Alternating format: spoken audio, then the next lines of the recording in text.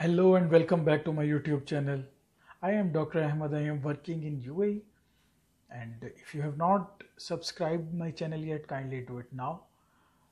Uh, I have started a series for medical residency program and if you are interested in doing medical residency in UAE or uh, post graduation in UAE then this video series is for you uh, in first video i have discussed about the overall map and different uh, bodies involved in it and uh, today we will discuss the pre-entrance or entrance exam whatever you want to call it and it is called EMREE i will discuss various aspects of it. If you have not seen my first video yet kindly see that video then come back. I will give you the link of that video in the description of this video and uh, after watching that video come here. If you have watched that video already then continue watching it. And uh, uh, if you at the end of the video if you have any questions or any comments you can ask anytime. There is comment section of youtube channel and most of you also aware about the facebook page of my channel. You are always welcome to ask any questions. And uh, let's start. It doesn't matter which part of UAE you want to start your residency and whatever licensing body will contact after passing this exam there is only one single examination for all licensing bodies and the name of that examination is EMREE and this exam is conducted by University of Medicine and Health Sciences Al-Ain uh, Al-Ain is an uh, area and it is part of Abu Dhabi. Okay, Abu Dhabi is one state and Al-Ain is part of this area. Uh, so this university is in Al-Ain. First you have to appear in an exam. The name of that exam is EMREE. EMSTREX is the name of the same examination but now the name is changed. Okay, so the name of examination is EMREE but when you uh, go to the website of the university both name will be there okay? Some in some parts they have written EMREE and some where it is written EMSTREX E M S T R E X are the spelling of previous examination and now it's EMREE E M R E E. Uh, now I have opened the website of uh, this university in front of me and the web address of this uh, uh, university is fmhsmeb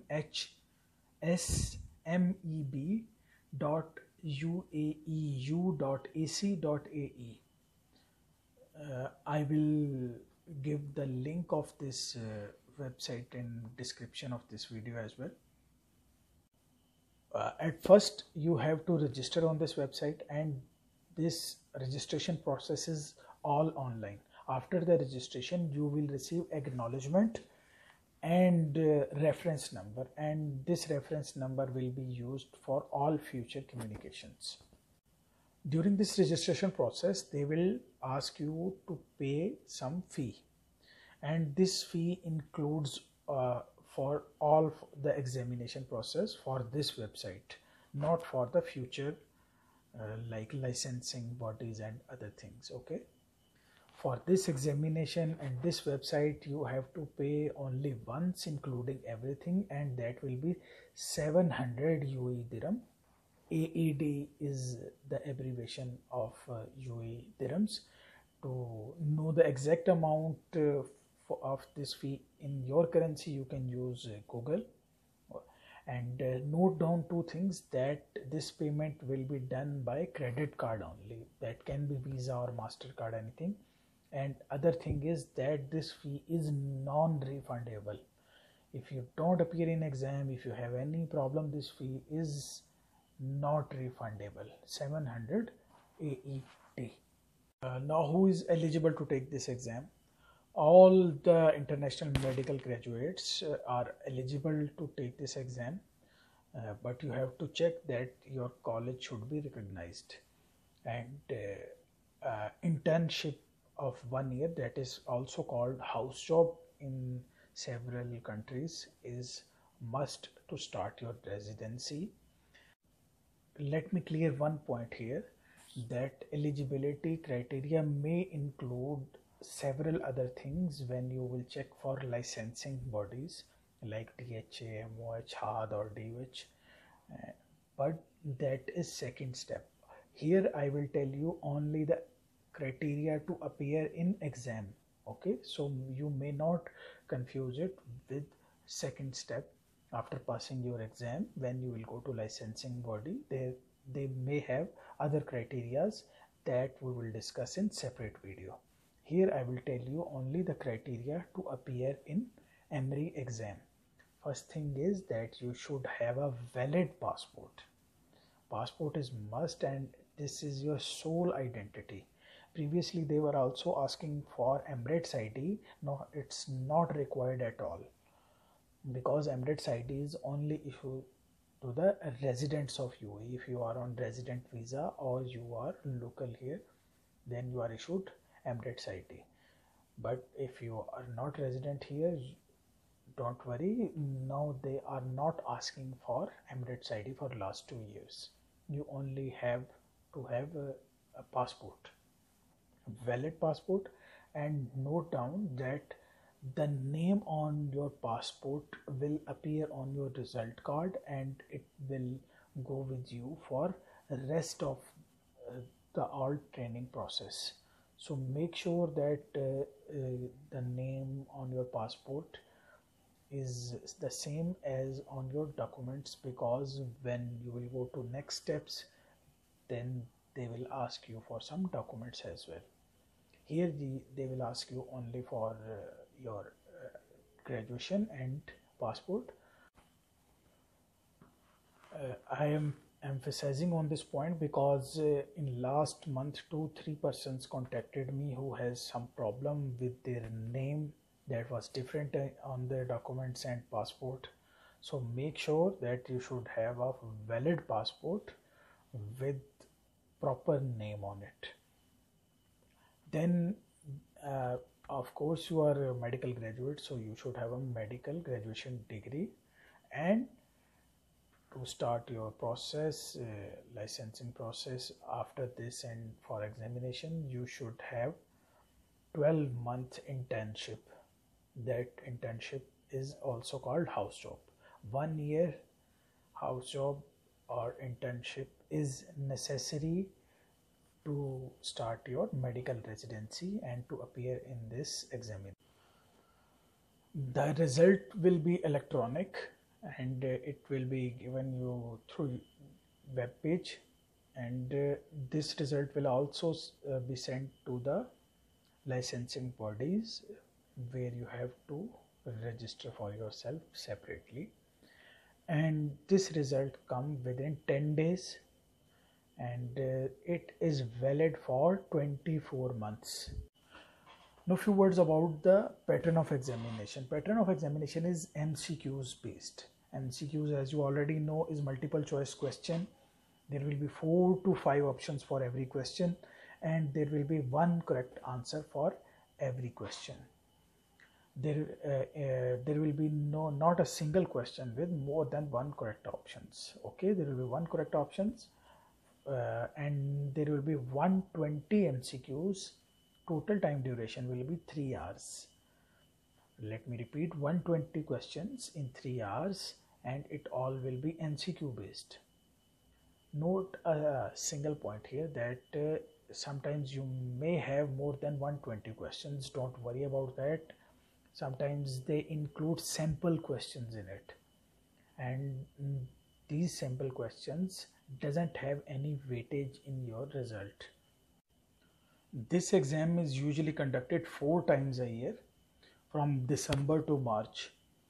But uh, this uh, number of uh, the examinations can be more or less depends on the demand from the licensing bodies like MOH, DHA and HAD DOH regarding passing percentage there is recent development that passing percentage is fixed at 65% but passing the exam doesn't mean that you will be selected for residency must because selection by licensing authorities is according to percentile. What does it mean? That if there are 100 candidates who has passed the exam who has more than 65% marks and they have 20 seats or 50 seats or 10 seats they will select the top candidates for that. Okay? I hope this is simple. Out of those 100 passing candidates they will select the top candidates uh, according to the availability of seats there. Okay so uh, sometimes what uh, doctors do that. They appear in exam again and again. You were allowed previously to sit in all exam in the same year but now recently no doubt they have changed this clause. If you have passed the exam whatever is your percentage you cannot reappear in same academic year okay? Many people have confusion in this and they try to register for all the examination in same year. Even if you get success in registration they will not allow you to appear. So if you pass the exam you cannot appear in the same academic year. Next year you can. Okay? Second thing is that if you cannot pass it then you can reappear okay in the same year. To book your exam date the process will be online but uh, there is a hitch in it. Like if you are appearing in an examination that is being conducted on 12th march of this year you will be given a certain time during which you can register for that exam. You can uh, grab your seat for the exam. Uh, one thing is that seats are limited and they are always on first come first base. Okay? If uh, you are applying early then you will get the seat. If seats are finished whatever is your record or uh, anything you will not get seat in that examination. Okay? And this registration time sometime is very limited and most of the time it is 5 days. But for as I told you the date of 12th March, uh, 12th March 2021 exam, there are only two days given on the website. It's open in front of me for exam being conducted on 12th March 2021 Friday. The enrollment will start on 5th March and it will end on 6th March so sometimes you can only have two days to register that. So be vigilant be on your toes uh, to register for the exam. As i am making this video in 2021 you know these are pandemic days. So covid negative test is must to appear in exam and it should be within last 7 days as I have told you earlier that uh, obtaining visa for uh, uh, this examination to come here it is totally responsibility of you. Okay? It is your responsibility to get visa and arrange accommodation anything. If you doesn't get success in getting visa or any problem your fee is totally non-refundable. Okay one more thing regarding covid that uh, uh, at certain times there is problem of flights and entry into certain states. This is again the responsibility of the candidate to check for that. Okay if on that day there is any restriction of flight or entry to certain state is restricted it will not be responsibility of EMREE conducting examination authority so what to do for that? You have to check daily for rules and regulations because they are rapidly changing due to covid pandemic days. You cannot cancel this exam because the fee is non-refundable. If you cannot appear in exam due to any reason your fee will not be refunded and there is no option of cancelling this exam do you need IELTS or other language examination of English uh, to appear in this examination? Uh, let me clear it that IELTS or other examinations are not criteria to appear in the EMREE exam, but the licensing authorities does have some criterias that we will discuss later on. To appear in this exam, you need no IELTS. So these were some important facts regarding the EMREE examination. The website is open in front of me and I have checked it uh, and I have touched all the important areas. I hope uh, I have cleared many of your doubts. If you still have some questions to ask, don't hesitate to ask in the comment section. And uh, this, this series is not stopped here. I will make further videos I have a plan in my mind, I have a map in my mind to touch the various areas of this medical residency exam. If you have certain questions, definitely ask so I can include them in future videos. And for this EMREE examination, best of luck if you have decided to appear in it and uh, stay connected because I am coming soon with another video. Bye for today.